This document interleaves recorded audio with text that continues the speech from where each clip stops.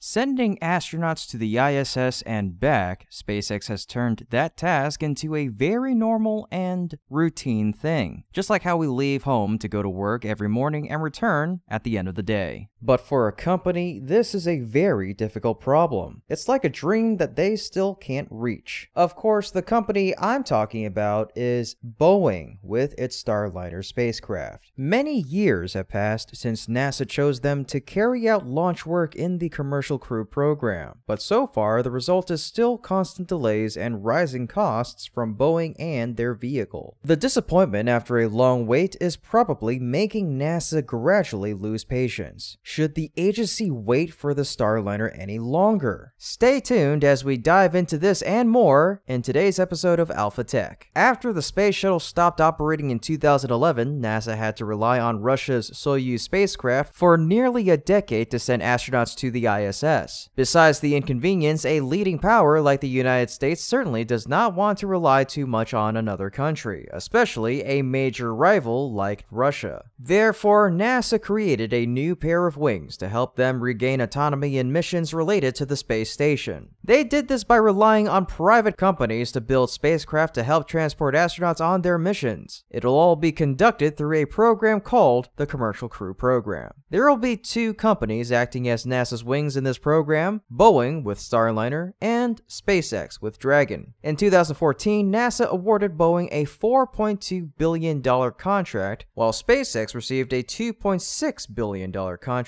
to develop vehicles that would take NASA's crews to the ISS. In fact, NASA later paid Boeing an additional $300 million, so Boeing received up to $4.5 billion of this contract. At the same time, NASA's special advisor William Gerstenmaier commented that Starliner's proposal was stronger and more feasible than Crew Dragon's, but over the years, what we have seen has gone against what he said. Let's first talk about the wing worth $4.5 billion first. In the contract, NASA awarded to Boeing, the agency required Boeing to conduct two to six crewed flights to the ISS. According to the original schedule, Starliner's first crewed flight would have been launched in 2017.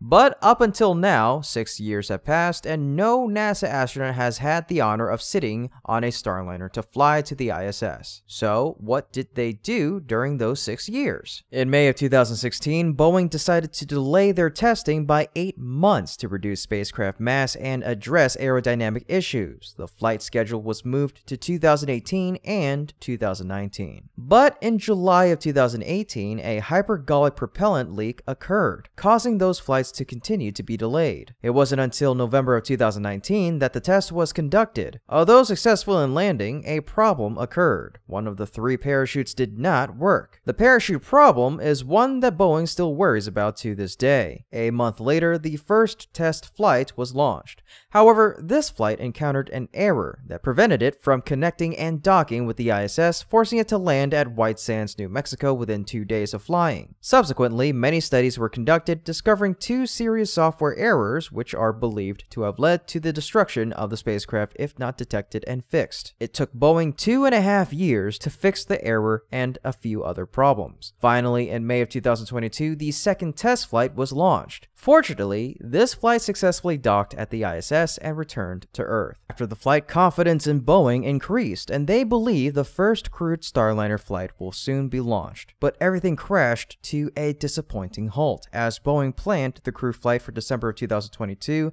it was then pushed back to February of 2023, then April, July, and most recently, the new target date is at least March of 2024. The reason for the latest delay was that they discovered two errors with their spacecraft, including the parachute system and the P-213 glass fabric tape covering the electrical wires in the capsule, which posed many potential risks to the flight. Boeing claims it'll fix these errors soon this year and conduct a crewed flight in March of 2024 if everything goes well. And there's a lot of emphasis on if everything goes well, since we can't know what will happen because even Boeing isn't quite sure. This is shown in the words of Mark Nappi, Vice President and Program Manager for Starliner. I certainly wouldn't want to commit to any dates or frame times. Thus, if we take the starting point in 2017, the year initially scheduled for Starliner's first flight, and the ending point in 2030, the year that the ISS is scheduled to stop operating, then Boeing has gone more than half the time. Six years and no crew flight. Well, I guess we'll just have to wait a few more months to know if the flight will launch in March next year. In the meantime, let's see what consequences the delays have had for Boeing. In July, Boeing announced this year's second quarter cost report, and for Starliner, the costs reached $257 million.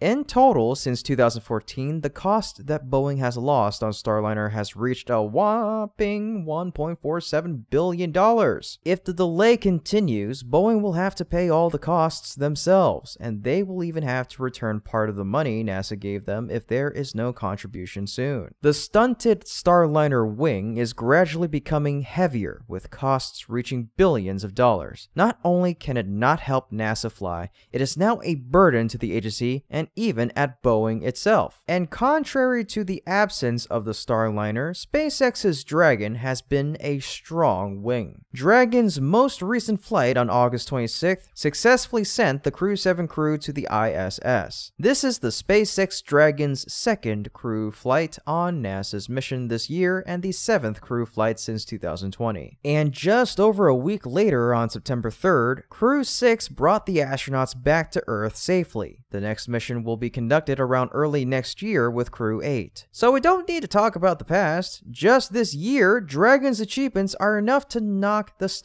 Out. Moreover, the cost per seat on Crew Dragon is also lower than the Starliner, at about $55 million, which is almost half of Starliner's $90 million. Last year, due to delays from Starliner, NASA purchased five more Crew Dragon flights to help them maintain operations until the ISS retired, bringing the total number of Crew Dragon flights to 14. This is great for SpaceX fans as they will see more Crew Dragon performances in the coming years. This also shows the importance and influence of Dragon in NASA's program. Being cheaper and more reliable, perhaps those comparisons are enough for everyone to see the superiority that SpaceX's Dragon has over Boeing's product. Perhaps NASA needs to make a stronger decision on whether to wait for that wing worth $4.5 billion or not. In fact, the reason NASA has remained patient with Starliner up until now is probably due to money and concerns about monopoly. They don't want to give up the money and time they have spent and also don't want SpaceX to have a monopoly on their commercial crew project. But so far, at least, everything is not as NASA wanted. After all, NASA is the one who feels the most disappointed as they have to wait day by day, month by month, year after year, witnessing their money evaporate due to delays. They certainly don't like it. But what can they do besides rely on SpaceX? Rely on the Dragon to continue their mission since there's hardly any other option. As for Boeing, expenses and delays are the factors that are gradually killing their Starliner project. Without practical improvements, explanations would be meaningless. It'd be surprising if NASA's six year hope, the Starliner, could completely come to an end. There will be replacements, or not, since Crew Dragon is fully capable of carrying the rest of the mission. March of 2024, Boeing's expected timeline is gradually approaching. Perhaps this will be their last chance, which will determine the Starliner's existence. But could it beat SpaceX's Crew Dragon? Well, that's not what Boeing should be focused about. They must find a way to salvage their project first. For Boeing, the problem will not just be about money anymore, it'll be about honor. Being eliminated would tarnish their reputation. What do you think? Do you think Boeing and Starliner can pull it off? Let me know your thoughts in the comment section down below. Otherwise, that's it for today's episode. We hope you enjoyed it and learned something new. Once again, please let us know what you think in the comment section down below. Your feedback is very important to us and helps us make better videos for you. So for that, we thank you so much and hope to see you again next time.